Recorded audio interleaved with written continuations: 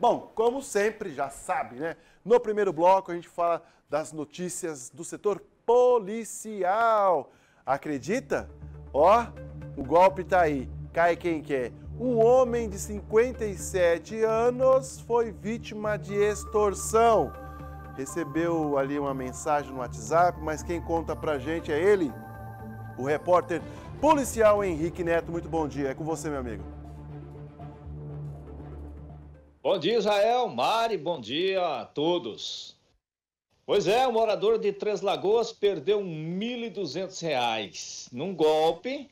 Ele foi vítima de extorsão. Quando ele achou que acordou, já tinha perdido 1.200.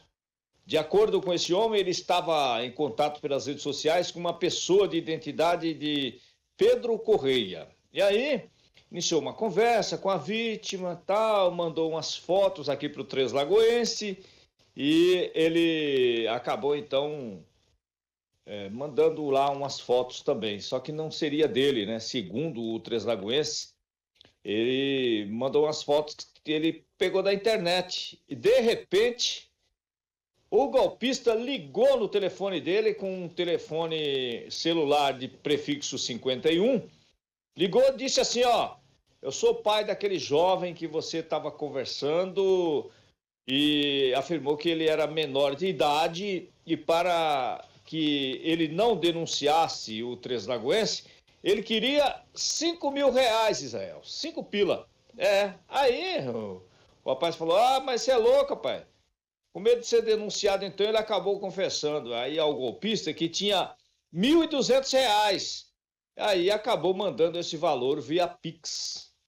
E posteriormente uma outra pessoa ligou para ele dizendo que dessa vez, olha, é o seguinte, eu sou o delegado aqui de uma cidade do Paraná, você está eh, é, sendo denunciado aqui. Isso foi ontem à tarde que aconteceu.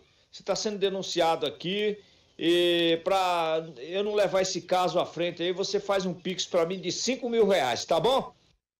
Aí o Três Lagoas se apavorou, botou a mão na cabeça, né? E aí correu, foi num advogado. Aí chegando lá no advogado, o advogado, rapaz, você caiu num golpe, procura a delegacia, registra o boletim de ocorrência, leva todas essas conversas aí e apresenta. Ele veio aqui na DEPAC e apresentou aqui ao pessoal e deixou aqui o boletim de ocorrência registrado como extorsão. Mas levou um prejuízo de R$ 1.200, meu amigo Israel, o que a gente nunca deve fazer é confiar nesses golpes que acontecem pela internet. Quando alguém liga, ó, oh, você está sendo. É, para, para, para tudo, desliga e procura a polícia, né? Esse é o caso. Mas o fato é que o Três Lagoense perdeu R$ 1.200 nos dias de hoje. Perder uma pila e 200 é muito. Não é verdade, meu amigo? Eu volto com vocês nos estúdios.